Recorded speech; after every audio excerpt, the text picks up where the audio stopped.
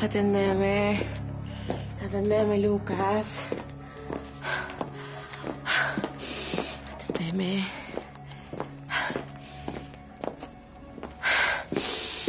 Atendeme, carajo, atendeme, carajo. Lucas, yo tengo que cuidar la integridad de los pacientes. Y si es necesario, voy a pedir una orden al juez para internarla y medicarla. ¿Y que la vida del bebé no es una vida? ¿No es una vida? Lucas, ¿Pero Lucas qué? China es una paciente psiquiátrica. Necesita medicación. ¿Mm? Corre en riesgo su vida. No puede resistir más. Entendelo. Está frágil. Está débil.